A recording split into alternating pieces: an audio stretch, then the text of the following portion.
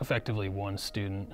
Those first few years were was growth for us. We built out of uh, someone's basement. We didn't have a shop or a location. We didn't have a room in the school at that time. Our team had humble beginnings. That grew into you know seeing what impact we could have on kids. Being something that was more than a bunch of people trying to come together and build a robot, we at that point thought that we could actually start affecting people. And we started. Kind of making it a more community driven environment and, and building that like family atmosphere that we have now.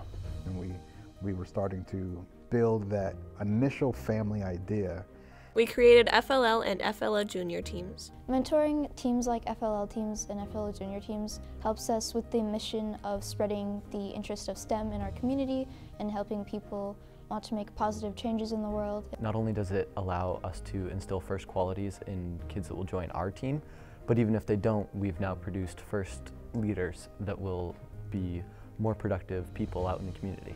Having such a strong family atmosphere on our team inspired us to reach out to our community and give that family atmosphere to others. Over the years, our team has begun to host events like Rise Against Hunger, where we packaged over 30,000 meals for countries in need. Working the Rise Against Hunger event was like insane. I never thought we'd be doing something like that 11 years ago.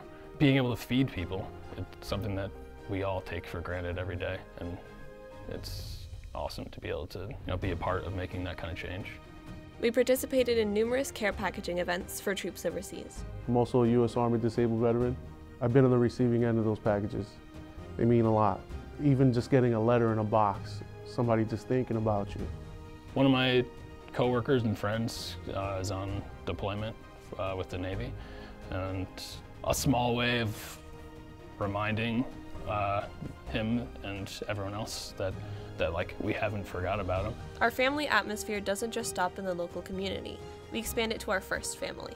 Remembering our humble beginnings, we make our resources available to other teams so they can grow like we have. One of our most popular resources are our programming lessons, and it's about six or 7,000 students around the world have used our lessons at least to some extent. We're giving any team around the world the opportunity to get the same kind of um, coding instruction that we did. This is important because we want to make sure that everyone's on the field and competing because we all know how much like went into making the robot. It's more than just the like metal